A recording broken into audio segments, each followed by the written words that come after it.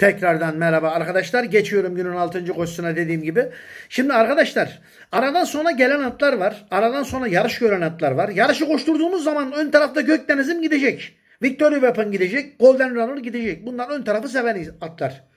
Bu yarışa mükemmel hazırlık devresi geçiren, Yaşar Demir itira- antrenörlüğünde mükemmel bir hazırlık evresi geçiren bir numara Antiyokos ilk şans sapkan.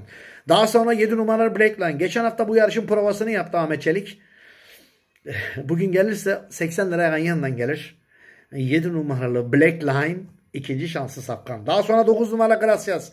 Müslüm Örtüç bizzat kendi, şey, e, Müslüm Çelik bizzat kendi çalıştırıyor. Son yapmış olduğu 1429 kalıbında da beğendi. Telefonda da Müslüm'le de görüştüm ben. O da güveniyor zaten. Yani iyi koşacak abi diyor. Bakalım diyor. Biraz mesafeden tabii tereddütleri var. Ben dedim Müslüm yapar dedim. Ön tarafa giden atların arkalarına yat dedim. Ben de öyle yapacağım abi dedi.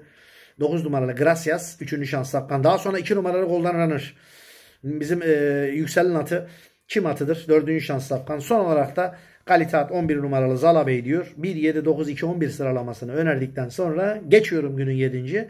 Altılı ganyanlarımızın da 4. ayağı olan kısa vade 9-3 yaşlı İngilizler 1400 metre mesafeli kompis bu yarışta. Şimdi burada bu durak, burada bir yarış, bu yarış kritik.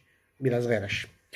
Şimdi arkadaşlar yarışı koşturduğumuz zaman ön tarafta Repairman gidecek. E, Torfun Time de ön taraf atı. İkisi de bunların ön taraf atı. Şimdi ben bu hafta bu General Brella'nın galovunu beğenmedim. Beğenmedim abi. 1005 sonu 25 kampçı sopa yaptı. 25.3 kampçı sopa yaptı. Hiç hoşuma gitmedi Galobat'ın. Ama galopta gitmeyebilir. Ona lafın sözüm yok. Belki de öyledir. Bazı atlar galopta gitmez. Yarışta gider. Ama her şeye rağmen bugün için ben bir numaralı Altın Sima'nın ön tarafta Repairman ve Torsion Time'ın kapışması durumunda sonlarda gelmesini bekliyorum. İlk şans safkan bir numara Altın Sima. Daha sonra dört numara Repairman. Geçen gün General Brelle'yi mağlup etti Özcan'dan. O gün Özcan bugün yine sert binerse ikinci şans safkan. Son olarak da General Brelle'yi mutlaka yazacağız tabi onsuz olmaz. 1, 4 ve 3 sıralamasını önerdikten sonra geçiyorum günün 8. Altılı ganyanlarımızın da 5. ayağı olan Maiden 4 yaşlı arabatlarına mahsus 1800 metre mesafeli çim pist bu yarışta günün bankosu.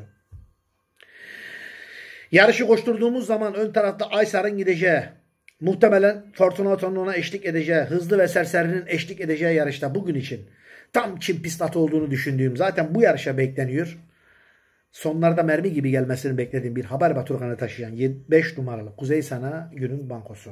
Ben bugün 5 numaralı Kuzey Sana'nın çok kolay kazanacağını düşünüyor ve günün bankosu olarak sizlere önerdikten sonra günün 3. ve en önemli videosu için bir dakika rica ediyorum.